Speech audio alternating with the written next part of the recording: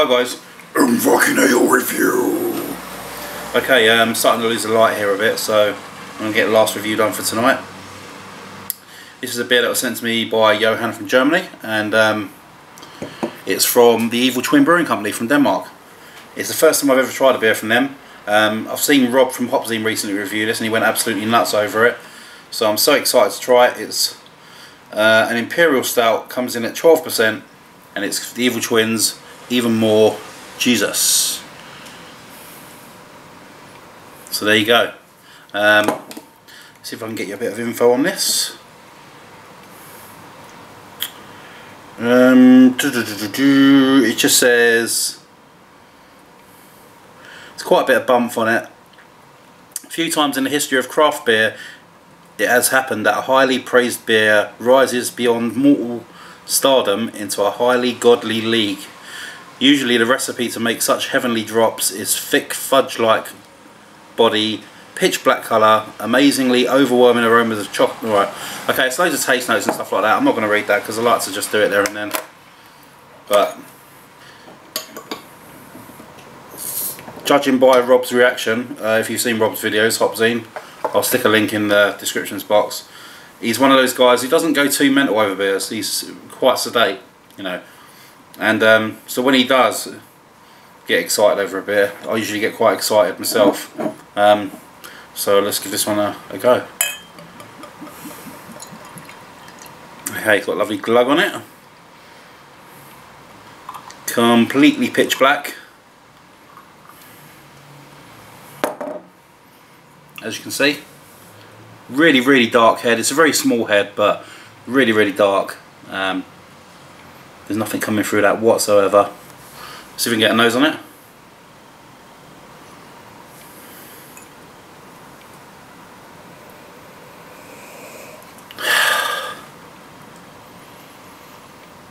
Wow, it's it, it's very strange. It doesn't smell like um, I was expecting it to.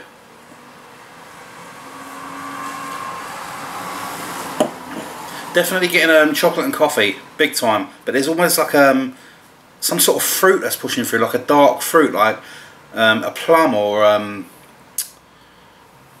some sort of hedgerow fruit. Um, slightly astringent, not too, you know, over the top, but just like sort of weeding its way through that um, coffee and chocolate. Yeah, it's definitely there. It's definitely a fruit there. But other than that, it's not the most pungent smell. Um, maybe I've not got the right glass for it. Um, beer geeks out there, is that the right one? I know Rob was getting a lot of noses, but he's I think he's got a bit more of a, a highly attuned sense of smell than me. But yeah, I'm getting the coffee and chocolate, getting a fruit note.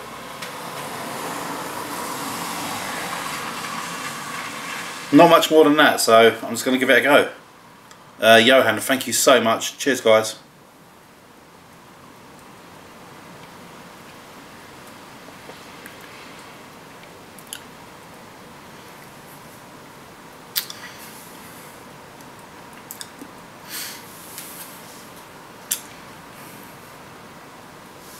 Mmm. Oh wow, that is really chocolatey.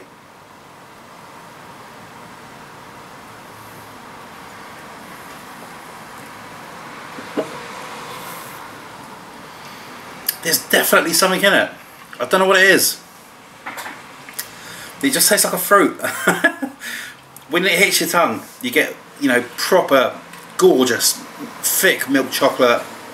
Um, roasted coffee, a lovely earthiness coming through it as well. But there's this sweetness which is worming its way through through the whole of it, just making it taste really unique and original. Um, let me have a look at those descriptions again, because maybe it's on there.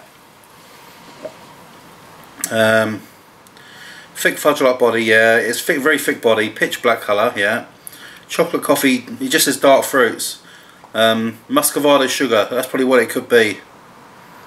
Um, that's probably what it is, the muscovado sugar. I know um, Terry K, Beer Goggles, um, picks up that flavour a lot. I don't think I've had muscovado sugar, so... But if it's like a fruity sweetness, then that's what it is. This is really, really good. Twelve percent, and it's and it hasn't got massive alcohol hits either.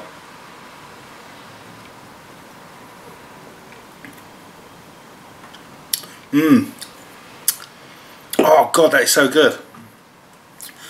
The more you drink it, it's just oh, the, the flavors start to increase. That fruit, it's it's oh, you can almost taste the stem of it.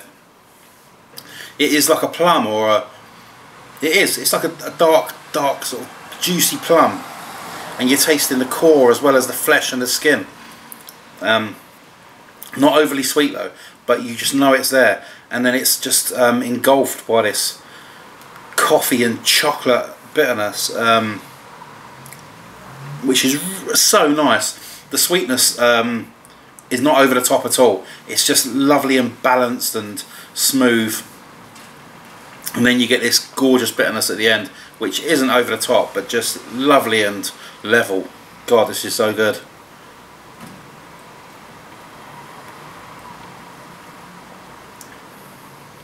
Oh man, that is so good. I love that fruit at the beginning, it is so nice. Wow, I can see why Rob went a bit mental over this one. I've never tried anything from Evil Twin, it's the first beer I've ever tried from them. And this, if this is anything to go by, then they're definitely a brewery I need to start looking into. Um, wow, 10 out of 10, easily for the Even More Jesus from Evil Twin.